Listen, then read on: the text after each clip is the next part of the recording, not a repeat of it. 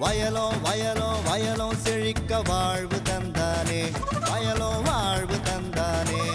அட பொன்னா விளையோ பூமிக்கு நல்ல விவரம் தந்தானே. உழவனின் உறவா வந்தானே.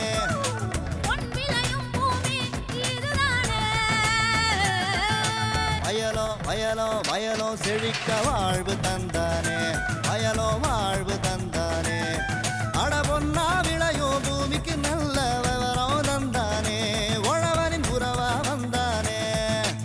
தந்தன தந்தன தன தந்தானே. மண்வள பொங்கிட துணை வந்தானே. தந்தன தந்தன தன தந்தானே. மண்வள பொங்கிட துணை வந்தானே. வணக்கம் வேளாண் பெருமக்களே. இன்றைய பொன் விளையும் பூமி நிகழ்ச்சியில் உங்கள் அனைவரையும் சந்திப்பதில் மிக்க மகிழ்ச்சி. நிகழ்ச்சியில் முதலில் வருவது வேளாண் செய்திகள். மின்சாரத்தின் தேவை பெருகி வரும் இக்காலகட்டத்தில் வேளாண்மையாளர்கள் மின்சார உபயோகத்தில் தற்சார்பு உடையவர்களாக இருக்க வேண்டும் என்ற அடிப்படை நோக்கோடு சூரிய ஒளி மின்கலத்தின் மூலம் இயங்கும் மின் மோட்டார் அமைப்பினை தேசிய வேளாண்மை வளர்ச்சி திட்டத்தின் கீழ் பண்ணை இயந்திர மயமாக்கலில் பயன்பெற்ற வேளாண்மையாளர் எம் ரகுநாதன். தேனி மாவட்டம் உத்தமபாளையத்தைச் சார்ந்த இவரை சந்தித்த போது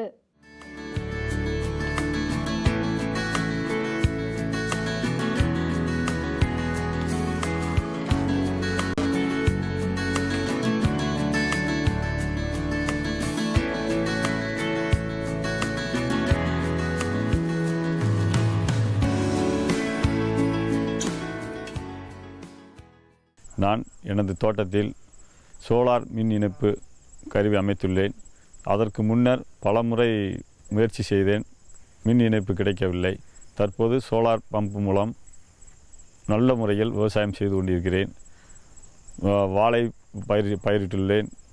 வெங்காயம் பயிரிட்டுள்ளேன். காலிஃப்ளவர் பயிரிட்டுள்ளேன். இது இது தவிர இன்னும் சிறு வெள்ளாமை செய்வதற்கு பல ரெண்டு மூ இரு இரண்டு மூன்று ஏக்கர்களையும் உழுது நடவு செய் செய்வதற்கு ரெடி பொசிஷனில் வைத்துள்ளேன். இன்னும் ஒரு இரு நாளில் பயிர் செய்து விடுவேன். தற்போது இது இதன் சோலார் மூலம் ஐந்து ஏக்கருக்கு மே அதிகமாக ஆறு ஏக்கர் நிலத்தை நல்ல முறையில் தண்ணீர் பாய்ச்சுவதற்கு கரண்ட் மின்சாரம் இல்லாமல் கரண்ட்டு கரண்ட்டு வெளியிலிருந்து இபி மின்சாரம் இல்லாமல் சோலார் மின்சக்தியின் மூலம் நல்ல முறையில் தற்போது விவசாயம் செய்து கொண்டிருக்கிறேன். இந்த சோலார் இணை இணைப்பு எனக்கு வேளாண்மை துறையின் மூலம் அறி அறிவித்தார்கள்.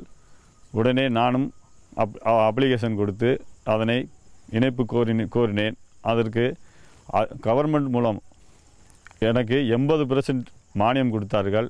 நான் இருபது பெர்சன்டேஜ் தொண்ணூற்றி ரெண்டாயிரம் ரூபாய் பணமாக க டிடி எடுத்து கட்டினேன். மீதம் மீத தொகை கவர்மெண்டே வேளாண் துறையே அதன் பொறுப்பை ஏற்றுக்கொண்டார்கள். எனக்கு மோட்டார் மின் இணை மோட்டார் அதன் அதன் துணை கருவிகள் அனைத்தும் தண்ணீர் வெளியில் போரிலிருந்து தண்ணீர் வெளியே வரும் அளவுக்கு அனைத்து பொருள்களுமே அவர்களை மாற்றி நமக்கு செட்டாக கொடுத்து விட்டார்கள். அதிலிருந்து நான் பாசனம் செய்வதற்கு சொட்டு நீர் பாசனம் அதாவது ட்ரிப்ரிகேஷன் மூலம் விவசாயம் செய்து கொண்டிருக்கிறேன். ட்ரிப்ரிகேஷன் மூலம் செய்வதன் மூலம் தண்ணீரும் வீ- வீணாகுவதில்லை. நமக்கு கரண்ட்டும் வீணாகுவதில்லை. வெயில் இருக்கும்போது அது ஆட்டோமேட்டிக் அது ஆட்டோமேட்டிக் ரன் ஆகி ஓடிக்கொண்டே இருக்கிறது. பகல் பொழுதில் நல்ல எட்டு மணி ஒரு நாளைக்கு குறைந்தது எட்டு மணி நேரமாவது ரன் ஆகிறது. ட்ரிப்ரிகேஷன் போடுவதனால் உரம் அந்த அந்த செடிகளுக்கு உரம் கொடுப்பதும் ட்ரிப்ரிகேஷன் மூலமாகவே செயல்படுத்துகின்றேன். தண்ணீரும் வீணாகாமல் அந்த இது பண்ணுகிறேன் இதனால் ஏரியாவும் நமக்கு நமக்கு அதிகமாக கிடைக்கிறது. ட்ரிப்ரிகேஷன் பண்ணுவதனால் ஆறு ஏக்கர் ஏழு ஏக்கர் வரைக்கும் ஒரே மோட்டரில் நம்ம பண்ண முடியுது. மேலும் விரிவுபடுத்துவதற்கு எனக்கு முப்பது ஏக்கர் வரை நிலம் உள்ளது. இன்னும் இன்னொரு இதே இதே போன்ற கருவிகளை நானே சொந்தமாக அமைத்து செயல்படுத்தலாம் என முயற்சி செய்து கொண்டுள்ளேன் மேலும் விவரம் பெற எம். ரகுநாதன் அவர்களை பூஜ்ஜியம் ஒன்பது ஒன்பது நான்கு நான்கு ஒன்பது பூஜ்ஜியம் ஏழு ஏழு பூஜ்ஜியம் ஒன்று என்ற கைபேசி எண்ணில் தொடர்பு கொள்க. இனி வருவது வேளாண் ஆலோசனை நேரம்.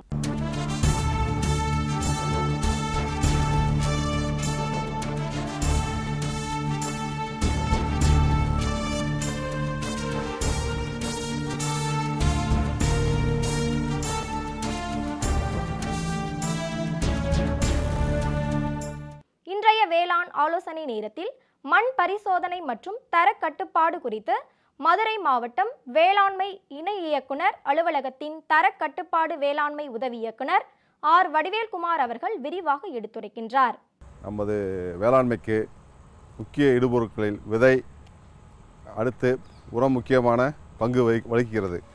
உரத்தினை எவ்வாறு பயன்படுத்துவது தேர்ந்தெடுப்பது என்பது பற்றிய சில முக்கிய கருத்துக்களை தங்களுடன் பகிர்ந்து கொள்ள விரும்புகிறேன். உரம் என்பது நமது பயிருக்கு அளிக்கக்கூடிய ஊட்டச்சத்துக்களை தர நமது மண்ணிலே இயற்கையிலேயே ஊட்டச்சத்துக்கள் உள்ளன. இவற்றினை நாம் மண் பரிசோதனை மூலம் அறிந்து நமது மண்ணில் எவ்வளவு தலைச்சத்து மணிச்சத்து சாம்பல் சத்து மற்றும் நுண்ணூட்ட சத்துக்கள் உள்ளன என்பதை நாம் அறிந்து அதற்கு பிறகு பயிருக்கு தேவைப்படும் அளவு உரங்களை கூடுதலாக நாம் இட வேண்டும். இவற்றை அடியுரமாகவும் எவ்வளவு முறை மேலுரமாகவும் பிரித்து இட வேண்டும் என்பதையும் நாம் அறிந்து பயிருக்கு தக்கவாறு அவ்வாறு பயன்படுத்திட வேண்டும். மேலும் நாம் த தரமுள்ள உரங்களை வாங்கி பயன்படுத்துதல் வேண்டும். இதனால் தரக்கட்டுப்பாடு சான்றிதழ் பெற்ற உரங்களையே தாங்கள் வாங்க பயன்படுத்திட வேண்டும். இது தவிர பூச்சி மருந்துகளை பற்றியும் சில கருத்துக்களை தங்களுடன் பகிர்ந்து கொள்ள விரும்புகிறேன். தேவை ஏற்படின் மட்டுமே பூச்சி மருந்துகளை பயன்படுத்திட வேண்டும். பொருளாதார சேத நிலைக்கு மேற்பட்ட நிலையில் மட்டுமே அந்த பூச்சி மருந்துகளை நாம் பயன்படுத்த வேண்டும். ஏனென்றால் தேவையற்ற நிலையில் பூச்சி மருந்துகளை நாம் அடிக்கும்போது அதனுடைய எஞ்சிய நஞ்சு சத்து நமது விவசாய பொ- இடுபொரு விளைபொருள்களிலையும் மற்றும் மண்ணிலும் நீரிலும் தங்கியிருந்து அது மனிதனுக்கும் கால்நடைகளுக்கும் பெரும் தீங்கு விளைவிக்கின்றன. எனவே தேவைப்படும் போது மட்டும் பூச்சி மருந்துகளை பயன்படுத்த வேண்டும். அதையும் அதுக்குரிய தகுதி பெற்ற அலுவலகமிருந்து பரிந்துரை பெற்ற பிறகே பூச்சி மருந்தினை நாம் பயன்படுத்த வேண்டும் என்பதை அனைவருக்கும் விரும்பி கேட்டுக்கொள்கிறேன். மேலும் தாங்கள் உரங்கள் மற்றும் பூச்சி மருந்துகளை கடையில் வாங்கும்போது அந்த கடைக்காரர்களிடமிருந்து அவசியம் பில் அதாவது பட்டியல்களை விலைப்பட்டியல்களை கேட்டு பெறவும் கேட்டுக்கொள்கிறேன். பூச்சி மருந்துகளை வாங்கும்போது அவை காலாவதியாகிவிட்டனவா என்பதையும் தாங்கள் பரிசோதித்து ஆய்வு செய்த பிறகே வாங்க வேண்டும். இவற்றில் ஏதேனும் குறை ஏற்படின் அருகிலுள்ள வேளாண்மை அலுவலகங்களை அணுகி அவர் அவற்றினை தரக்கட்டுப்பாடு அலுவலர்களிடம் உடனடியாக தெரிவிக்கவும். எனவே இதன் மூலம் நாங்கள் அவ சம்பந்தப்பட்ட கடைக்காரர்கள் மீது சட்ட நடவடிக்கை எடுக்க எதுவாக இருக்கும் என்பதையும் நான் தெரிவித்துக் கொள்கிறேன். எனவே தாங்கள் வேளாண்மை துறை அவ்வப்போது அறிவிக்கும் தொழில்நுட்பங்களையும் பரிந்துரைகளையும் பின்பற்றிய உரங்களையும் மற்றும் பூச்சி மருந்துகளையும் பயன்படுத்த வேண்டும் என்பதை அன்புடன் தங்களுடன் கேட்டுக்கொள்கிறேன். மண் பரிசோதனை பற்றியும் சில கருத்துக்களை தங்களுக்கு தெரிவிக்க விரும்புகிறேன். நமது ஏற்கனவே நான் தெரிவித்தபடி நமது மண்ணில் இயற்கையாகவே சத்துக்கள் உள்ளன. இதை எப்படி நாம் தெரிந்து கொள்வது என்றால் நாம் எந்த பயிரும் பயிரிடாவிட்டாலும் அதிலிருந்து களை செடிகள் புல்கள் போன்றவை முளைக்கின்றன. அவற்றை அவை நம் இயற்கையிலே உள்ள சத்துக்களை எடுத்துதான் வளர்கின்றன.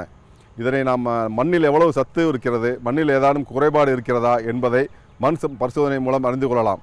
இதனை பரிசோதனை செய்வதற்கு மண் மாதிரி ஒன்றுக்கு ரூபாய் இருபதும் தண்ணீர் மாதிரி ஒன்றுக்கு ரூபாய் இருபதும் அரசால் மானிய விலையில் கட்டணம் நிர்ணய செய்யப்பட்டுள்ளது. தாங்கள் நிலத்து மண்ணை பரிசோதனை செய்யும்போது மண்ணில் உள்ள கலர் நிலை அமில நிலை மற்றும் சுண்ணாம்பு சத்தின் அளவு தலைச்சத்து மணிச்சத்து சாம்பல் சத்துக்களின் அளவு மற்றும் நுண்ணூட்டச் சத்துக்களான துத்தநாகம் தாமிரம் போரான் போன்றவைகளின் போன்றவைகளின் அளவு ஆகியவை தங்களுக்கு தரப்படுகின்றன. இது போக தங்கள் ம- மண்ணில் நிலத்து மண்ணில் கலர் சத்து இருந்த கலர் அமிலச்சத்து சுண்ணாம்பு சத்து போன்ற குறைபாடுகள் இருப்பின் அவற்றை சீர்திருத்தம் செய்வதற்குரிய பரிந்துரைகளும் தங்களுக்கு வழங்கப்படுகின்றன. எனவே விவசாய பெருமக்கள் அனைவரும் தங்களது நிலத்து மண்ணை ஒவ்வொரு பயிரிடுவதற்கு ஒரு பயிர் இடுவதற்கு முன் அவசியம் மண் பரிசோதனை செய்து அதன் பரிந்துரைப்படியே உரங்களை இட்டு கூடுதலாக செலவை குறைத்து அதிக லாபம் பெற்று மகசூல் பெற்று லாபம் பெறுமாறு வேளாண்மைத்துறை சார்பாக அன்புடன் கேட்டுக்கொள்கிறேன். ஆர். வடிவேல்குமார் அவர்களை பூஜ்ஜியம் ஒன்பது ஒன்பது நான்கு இரண்டு ஒன்று நான்கு பூஜ்ஜியம் ஆறு நான்கு மூன்று என்ற கைபேசி எண்ணில் தொடர்பு கொள்க. மீண்டும் நாளைய பொன் விளையும் பூமி நிகழ்ச்சியில் சந்திப்போம். நன்றி வணக்கம்.